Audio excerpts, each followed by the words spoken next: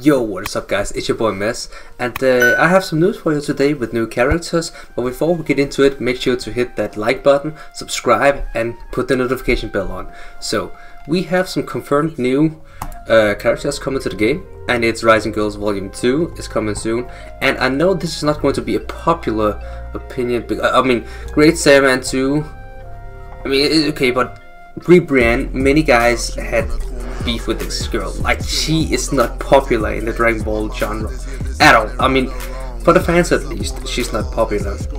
But I mean, it does look like she's going to have some decent powers. So I can just show you here, guys. We can just watch it together. So I mean, I don't know what else to say. I, am just not a big fan of her, but it does look like she has some um, some decent decent strength as well. Uh, let me just check. Yeah, like her damage increases per like female warrior that you have as well, so that seems pretty good.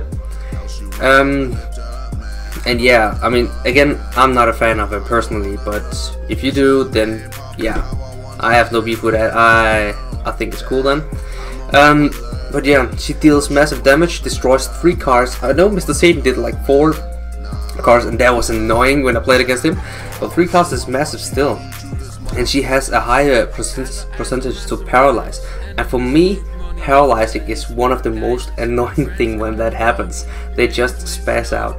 I don't, but I don't know. I, I, it seems very overpowered, so I don't know if she's going to be popular in the terms of the game because she might just be overpowered.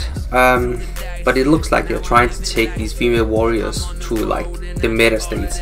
Um, but yeah, we'll have to see when uh, when they're released. But yeah, thank you guys for watching. Leave a like and subscribe if you haven't already, and write a comment down below so I know what you think about this. And then yeah, I will see you guys next time. Peace.